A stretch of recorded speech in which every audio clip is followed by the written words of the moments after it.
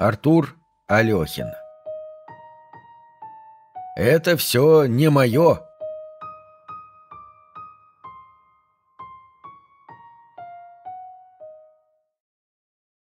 Привет. Только-только вернулся от хирурга. Вырезали очередной имплантат или даже не знаю, как правильно назвать. Врач оказался очень проницательным, добрым, внушающим доверие и надежду человеком. Посоветовал мне побольше общаться с людьми, не держать в себе, выплеснуть свою историю, дабы успокоить нервы и больше не заниматься самодеятельностью, и тем более не вредить себе. Сказал, если держать внутри, можно сойти с ума.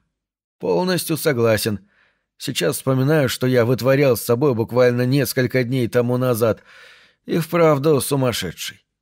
Заявился к хирургу весь в шрамах, в незаживающих порезах. Некоторые из них и вовсе не прекращали кровоточить. Чтобы вы понимали, я вспарывал себе кожу без анестезии, а затем пальцами пытался достать это. А в больницу пришел чисто случайно, почувствовал, что перерезал себе какую-то важную часть организма. К боли я уже привык. Настолько, насколько мог. Она меня не смущала. Но рука вдруг перестала полноценно функционировать, обвисла. Когда врач осмотрел меня, он только лишь покачал головой и прокомментировал. «Ну что же вы такой глупый-то? Думаете, вы первый? Я вам больше скажу. И не первый, и не последний. Пришли бы, мы бы вам все спокойно удалили, плавно, аккуратно, не спеша, а вы смотрите, что с собой натворили». Я посмотрел на себя и ужаснулся. Одна рука висит, на другой полно шрамов вперемешку со свежими надрезами, часть которых немного нагнаивалась, а по всему телу засохшие пятна крови. Мне стало очень стыдно. Зато с тех пор я регулярно хожу на процедуры извлечения — и успешно удаляю все ненужное. Все у меня теперь выглядит аккуратненько, ухоженно, чистенько, а главное, лишнего становится меньше и меньше. Сейчас оглядываюсь лет на десять назад и понимаю, не то чтобы я попался в ловушку, нет, я плавно влился в правила коллектива, как это часто бывает попал в механизм социума и очень быстро потерял себя настоящего, а осознал это лишь пару месяцев назад. Впрочем, известная история. Думаю, с каждым случалось нечто подобное.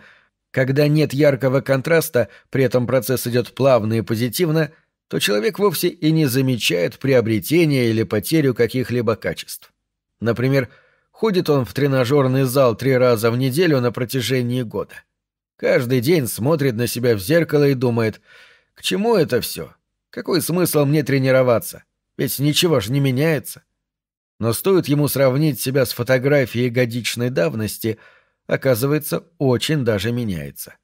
Просто он смотрит на себя в зеркало каждый день и потому не видит увеличения объема мышц. Ему кажется, так было всегда. Я об этом. Плавность процесса. Понимаете? Десять лет назад я пришел устраиваться на работу, на которой проработал почти что по сей день. Меня приняли очень радушно, дружелюбно. Согласитесь, это ведь здорово, когда воспринимает прекрасный позитивный коллектив. Когда вам искренне улыбаются и максимально стараются помочь, одним словом, принимают. Меня это, безусловно, очень обрадовало и, наверное, в каком-то смысле замылило глаза. — я всегда был открытым и приветливым человеком, поэтому с удовольствием влился в коллектив и начал строить свою карьеру. Не прошло и нескольких недель, как я уже стал частью своего нового рабочего содружества, словно работал с коллегами всю жизнь. Мы общались друг с другом без формализма, обсуждали не только рабочие вопросы, даже периодически ходили в бар в свободное время. Мы действительно очень быстро стали друзьями. Только одно в тот период меня отличало от всех. На их телах, руках, ногах, даже на лице я замечал какие-то очевидные дефекты. Выпирание, что ли? Вздутие. Словно что-то инородное находилось у них под кожей. Что-то, что периодически давило и хотело вылезти наружу. Сначала я думал, это послеоперационный эффект или что-то вроде того. может быть, неудачная пластика, ботокс. Но когда заметил подобное у всех коллег без исключения, понял, в этом есть какая-то система. Спросил в очередной раз прямо, «А что это у тебя такое?» «Где?» «Ну вот, например». Я показал на оголенную часть руки, на участок под кожей которого, очевидно, что-то выпирало. Или вот. Я буквально дотронулся пальцем до виска коллеги, который у него был неестественно плотным. Заметить это можно было даже невооруженным взглядом. «А, это! Следы от наград!» — горделиво ответил он с довольным взглядом. «Не переживай, и у тебя такие будут». Конечно же, я не закончил общение на этом и детально расспросил. Мои догадки оказались верны, даже более чем. В этой, на первый взгляд, странности была не только система, но и мотивация, и корпоративная иерархия, значимость одним словом. За трудолюбие, усердие и преданность работе учреждение не только мотивировало сотрудников щедрыми зарплатами, премиями, внеочередными отпусками, чего, казалось бы, и так достаточно, но и наградами в виде красивых медалек, значков, металлических грамот, грузиков. Последние особенно ценились. Ведь чем больше ваш вес в коллективе, тем вы должны быть весомее, в прямом смысле слова. Однажды мы обедали с коллегой в корпоративной столовой, как вдруг послышался звон металла и тяжелый грузный звук, словно какой-то великан, еле-еле передвигая ноги, шел в нашу сторону. Я обратил внимание на то, что многие работники отвлеклись от еды и с каким-то позитивным одушевлением замерли в ожидании появления чего-то особенного. Вероятно, кто-то должен был появиться в дверном проеме с минуты на минуту. Мой коллега тоже не остался равнодушным. «Вау!» — воскликнул он. «Смотри, сейчас ты увидишь лучшего работника нашего учреждения. Я видел его всего пару раз. Он настолько весом, что появляется очень редко, и его всегда приветствуют аплодисментами. Я тоже так хочу. Последнюю фразу он закончил мечтательно, посмотрев наверх. Его зовут Шмуэль, но все с уважением называют его дядя Шмуэль. Настолько он важен и авторитетен в жизни коллектива.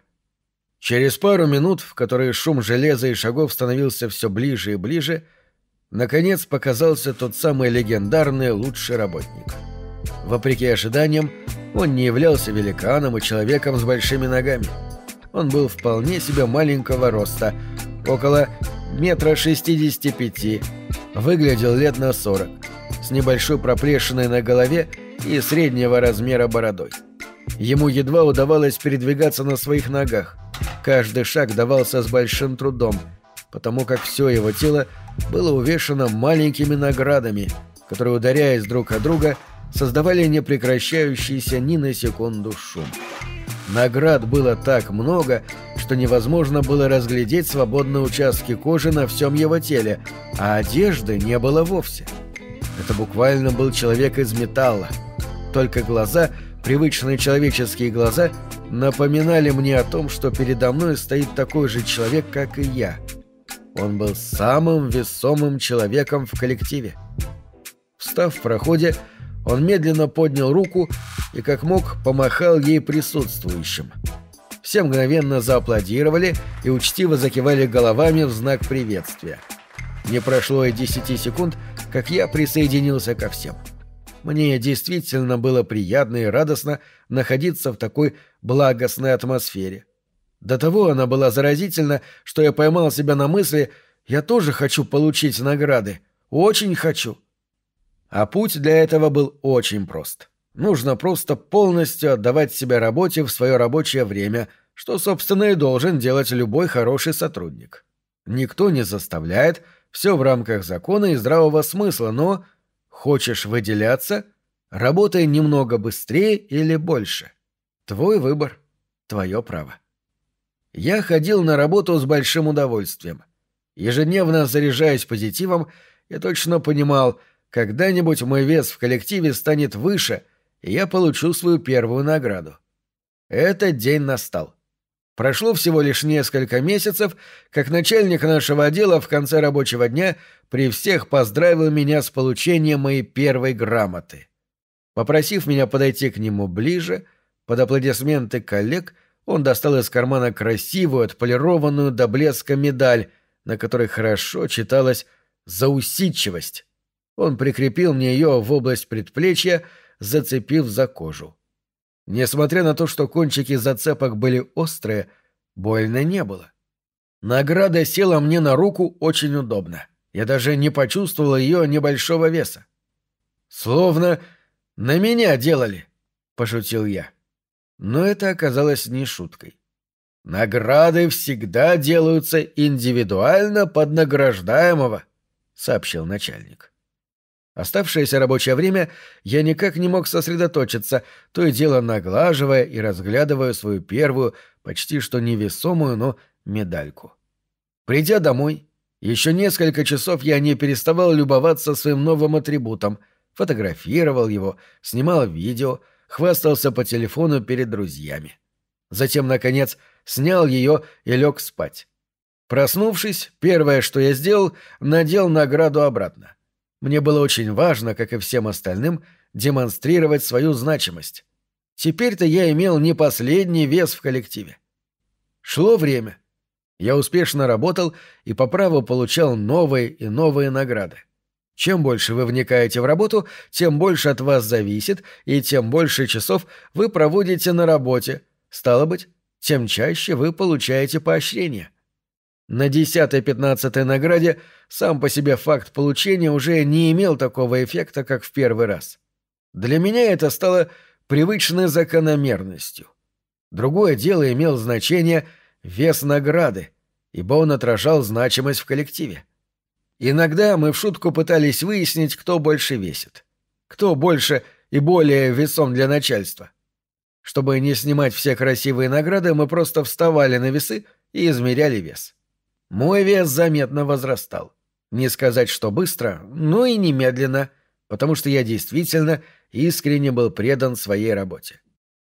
Как-то ночью поймал себя на мысли, что довольно давно ложусь в кровать со всеми медальками, забывая их снимать. Впрочем, зачем, если они никак мне не мешали? К тому моменту у меня их накопилось уже около двадцати пяти. На ногах, руках, животе, спине, в области груди и даже одна на правой щеке. В ту ночь мне захотелось поспать без них. Я схватился за одну из них, кажется, вторую или третью по счету в своем арсенале, и потянул на себя. Но она не оторвалась.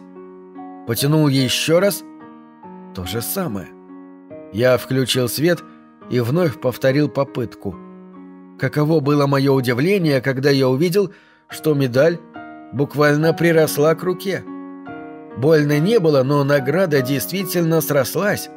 Словно стала частью меня, словно я пытаюсь оторвать от тела какую-то естественную его часть, например, палец или кисть. Все это выглядело очень нелепо и пугающе. Тогда я решил проверить свою самую первую награду и вдруг обнаружил, что она не просто приросла к коже, она уже почти что закрыта ей сверху. Она вросла, словно имплантат. На поверхности предплечья виднелся лишь небольшой выступ, а внутри прощупывалась эта самая первая медалька. «Что это?» Вспомнил я свой давний вопрос коллеге и его ответ. «Следы от наград». Но я-то думал, он имел в виду следы отношения наград, как бы рубцы, незначительные микродефекты, которые могут оставаться от ношения кольца или браслета. Я здорово испугался. Не знал, как к этому относиться. Это выглядело очень страшно. Мне не удалось заснуть в ту ночь. Однако утром коллеги сразу успокоили меня, когда я нервно стал рассказывать о произошедшем, тряся у них перед лицом своими железными грамотами. Они только лишь рассмеялись. Затем, улыбаясь, сняли с себя всю верхнюю одежду, полностью оголив торс. «Смотри, пощупай, не бойся», — предложил один из сослуживцев. Я потрогал. Точно так же, как и у меня. Свежие награды легко снимались с кожи, более старые срастались, а очень старые были внутри. «Это нормально», — продолжил коллега. «Это же твои награды, лично твои, твоя гордость, твой успех. В конце концов, это часть твоей жизни. И это навсегда останется с тобой». Наоборот, это здорово, что никто не сможет у тебя их забрать, отнять, украсть. Ты всегда можешь показать свою значимость. Я успокоился. В очередной раз заразился неподдельным искренним позитивом коллектива, с которым мне действительно было хорошо проводить рабочее время. Прошло несколько лет. «Не хочешь перекусить?» — спросил меня один из коллег. «Или сегодня снова не пойдешь?» Я давно перестал ходить в столовую. Обычно мне почтенно приносили еду в кабинет. С каждым годом мне становилось все тяжелее и тяжелее ходить, потому как мой вес в коллективе рос, я получал все больше наград и в какой-то момент стал тратить слишком много энергии для того, чтобы выдерживать их. В моем кабинете даже поставили кровать, чтобы я мог работать лежа а также установили туалет, душ, зону отдыха и еще несколько бытовых примочек, которые облегчали мне рабочий день. К тому же система выстроилась довольно просто. Чем больше вы не двигаетесь, тем меньше вы отвлекаетесь и тратите энергии. Стало быть, тем больше вы расходуете сил на работу. Следовательно, тем выше ваш вес становится в коллективе с каждым днем. Однако в тот раз я отреагировал на предложение положительно. К тому времени я не заходил в столовую уже несколько недель, а потому решил заглянуть. Мне понадобилось около десяти минут, чтобы дойти туда от своего кабинета. Я с трудом передвигал ноги, с трудом держал баланс, чтобы не упасть. Все мое тело от головы до ног было полностью увешано грузиками, большая часть которых уже давно стала частью моего организма. Я практически перестал носить одежду. В ней больше не было надобности. Висящие на теле медали были моей одеждой. Наконец, когда я подошел ко входу и сделал первый шаг внутрь, я услышал громкие восхищенные аплодисменты. На меня смотрели молодые люди, в их глазах читалось почтение и уважение. Ведь к тому моменту я стал лучшим работником, а все они хотели быть похожими на меня. Я помахал им рукой, вспомнив, как когда-то тоже приветствовал лучшего работника учреждения. Это было невероятно приятно. Я чувствовал гордость и умиротворение. А совсем недавно я уволился. Не случилось никакого конфликта, нет, я просто устал. Сообщил начальству, отработал до тех пор, пока мне не нашли замену. Коллеги устроили мне прощальную вечеринку, и мирно, спокойно, с почестями я ушел, став безработным. Несколько недель я просто отдыхал, наслаждался жизнью. Только стал замечать, что для свободной от работы жизни мои награды начинают мне мешать. Мне тяжело передвигаться, сложно почесать себе спину, сложно вставать с кровати по утрам, банально сложно ходить в магазин за продуктами. Наград было слишком много, и они были очень тяжелыми. Однажды ночью мне не спалось. Я включил свет, подошел к зеркалу и посмотрел на себя, предварительно сняв медальки, которые еще мог снять. Тело мое бугрилось из-за вросших имплантов. Лицо неровно перекошенное из-за разной тяжести наград.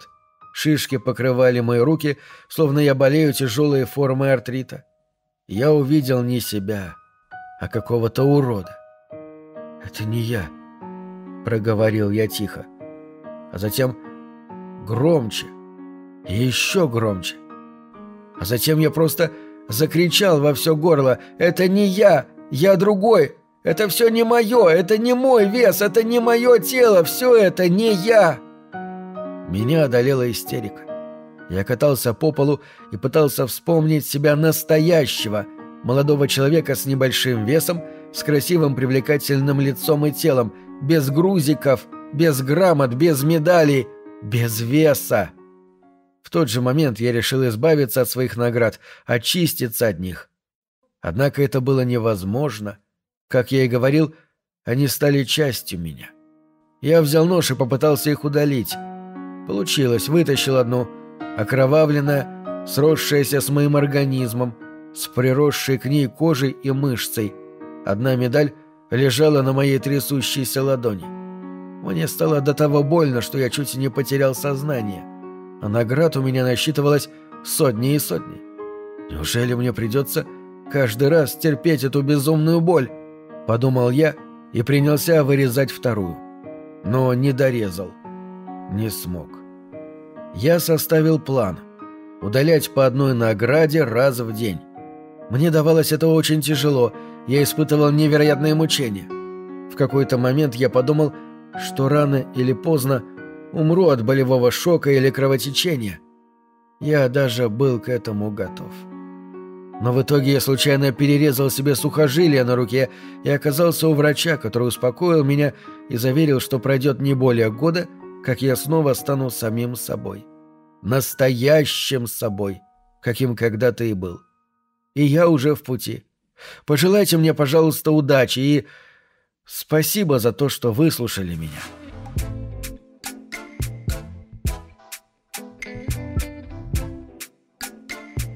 Друзья, Буквально несколько секунд рекламы под конец этой истории. У меня есть авторский канал на Ютубе и Рутубе, где вам больше удобно. А лучше и там, и там. Артур Алехин. Все очень просто. Пожалуйста, если вам нравится мое творчество, подпишитесь и будьте немного активнее. Кстати, на канале есть моноспектакли по моим сценариям, и не только. Это действительно очень важно для меня и моего творчества.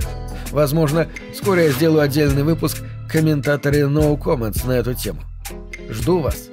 Спасибо за внимание.